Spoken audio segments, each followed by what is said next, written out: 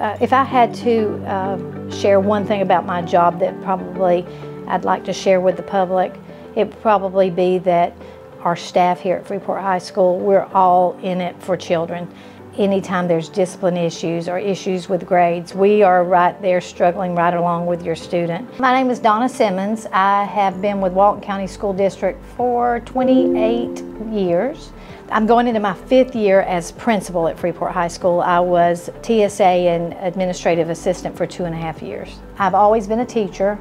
As a teacher, I did many things. I was a reading teacher. I've always been an ELA teacher, AP teacher. I've done a lot of just different clubs, always active within the school. The one thing I vow to do is never forget what it's like to be in the classroom.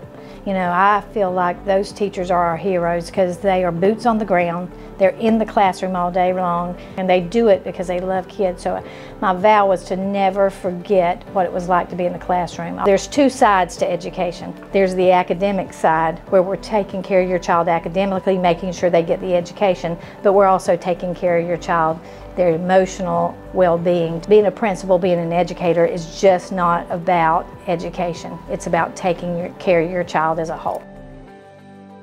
It sounds so cliche. I can be having such a bad day and I can walk out into the hallway and kids are, hey, Miss Simmons, or I need some help, Miss Simmons, or I see a kid who needs help and I, I draw them in and I'm able to help them.